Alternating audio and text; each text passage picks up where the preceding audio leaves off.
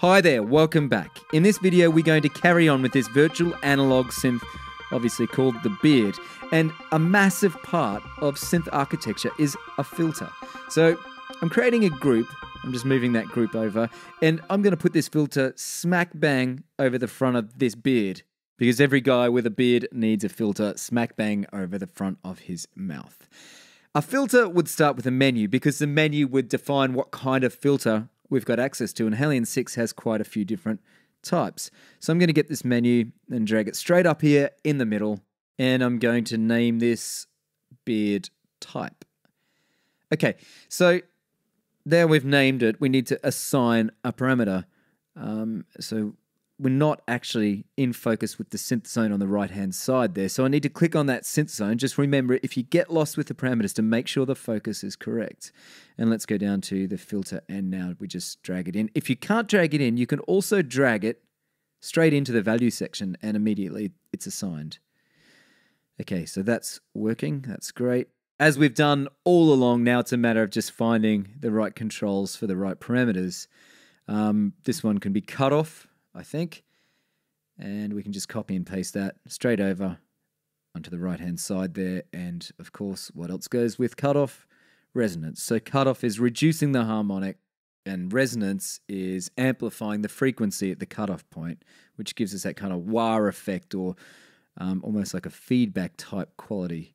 So I'm naming these guys um, but once again, you'll see that the font is a different color. And in the first video, we figured out that that green font is a lot better or it pops through a lot more. So let's just reinforce this again by going up to the template and clicking on the E button and then finding the label.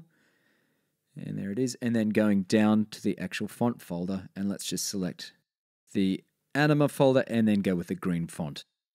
Back over in the second page, let's drag the parameters, so the cutoff and the resonance inside of the filter folder onto those parameters and give it a little check. That's all working great. I think by now you're starting to get the idea. It's finding the correct parameters that you need to assign something to, making sure you've got the appropriate control, which we get from the browser down the bottom, making sure you name it, and making sure it's all linked. Um, so we'll speed up this section. But the whole idea for me to have this um, this filter section is because I want to send the filter section or have the filter section be controlled by its own envelope, which we're going to put on the next page. And also I want to make sure that I've got an LFO or two LFOs that I can use to control things like pitch or even you know the cutoff or the resonance and that sort of thing. So I want this synth to be basic, but I want it to be kind of flexible because I think Halion 6 deserves, and well, the beard deserves that kind of treatment. I've not really put any pitch controls in here other than the actual oscillator itself, but I am putting a control in here or a parameter in here that allows pitch to be controlled by its own envelope, which I'm also going to put on the next page. I'm not sure how that's going to work out, but I kind of like having control over the pitch using an envelope. Over on the right hand side, I'm creating a new group and I'm just dragging it out to cover this blank area here because this is where I'm going to build the LFO or low frequency oscillator. Once again, let's go over to beard speed here because we know what we've got to do. We just go to the sound editor page, have a look at what's involved in an LFO or low frequency oscillator, make sure we've got the menus and also the knobs and the switches correct, connect the parameters, copy and paste, and reconnect the second LFO to its own parameters. Now, once again, it's about routine. We put everything into its own group. Like I said, there's a lot going on here. I'm not super happy with the layout of the page, but everything's there. And of course, I can tweak this as I go along and make sure everything's lined up.